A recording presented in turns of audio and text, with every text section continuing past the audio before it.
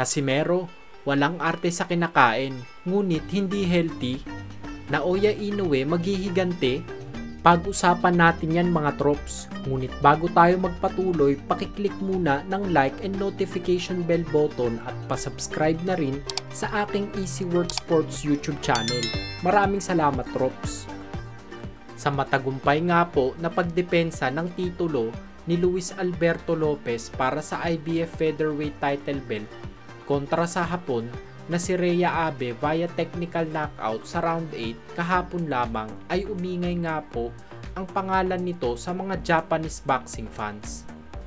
Matatandaan na may planong umakyat ng 126-pound featherweight division ang 2-division undisputed champion na si Naoya the Monster Inoue kapag nalinis na niya ang mga mandatory challengers sa 122-pound super bantamweight division.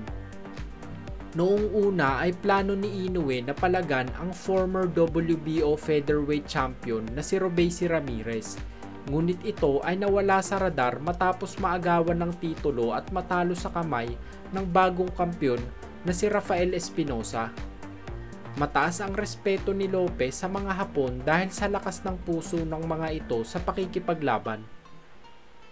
Nagpakita rin po ito ng interes na labanan ang monster ng Japan kung sakaling umakyat na ito sa featherweight division. Kung sakaling mapanatili ni Lopez ang titulo, ay posible mga tropes na ang route na ito ang tahakin ni Inoue dahil under ng top rank rin itong si Lopez lumalaban.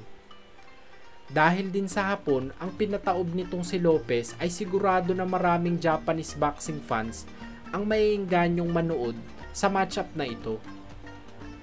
Sa kabilang banda naman po ay sa inilabas na video ng Quadro Alas It's My Boy YouTube channel na may title na Casimero, walang angal-angal sa kinakain na delata at bagoong.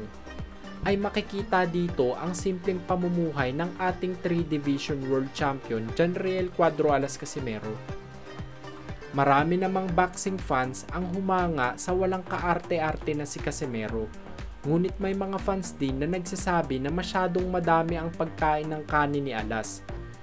Kaya naman ay hindi na nito na maintain ang kanyang katawan. May mga nagsasabi rin na hindi healthy ang kinakain ni Alas kaya mabilis mawala sa kondisyon at timbang.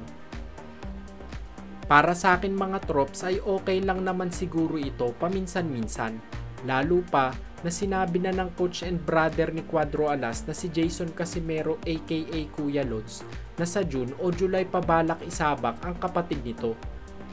Ngunit kung gugustuhin ng kampo nila Champ na maging 100% condition at mas maging malakas ay mas mainam mga troops na kahit matagal pa ang laban ni Champ ay maging matalino sa pagpili ng kinakain regardless kung may paparating na laban o wala. Shinare din ng MP Promotions President Sean Gibbons ang video sa kanyang Facebook page ngunit walang kahit na anong sinabing caption patungkol dito. Ano namang komento nyo mga troops sa video na ito ni Casimero? Comment nyo lang ang sagot nyo sa baba.